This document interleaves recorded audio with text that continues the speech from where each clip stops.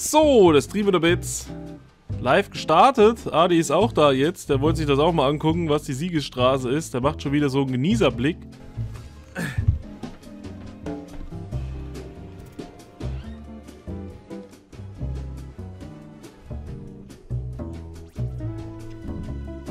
Oh, ich bin, ich hänge total fest hier an den Nido-Ransen. Ich wollte eigentlich die Siegesstraße machen, aber irgendwie habe ich, wenn ich die sehe, da kann ich nicht anders, als da musst du hin und musst sie fangen. Die sind so süß. Und die kommen alle aus diesem einen Gebüsch raus und das finde ich total toll und deswegen nehme ich noch eins mit.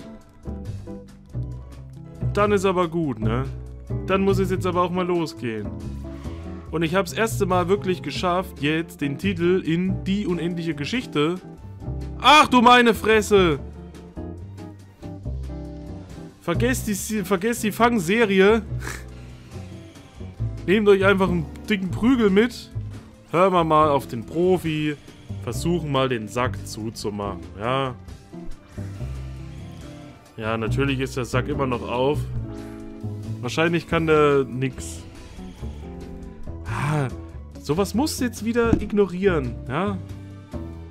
Ja, komm, dich ignoriere ich jetzt auch. Ah! Ein Kogowai, das habe ich auch noch nicht. Das müssen wir auch noch mitnehmen. Die machen das mit Absicht jetzt.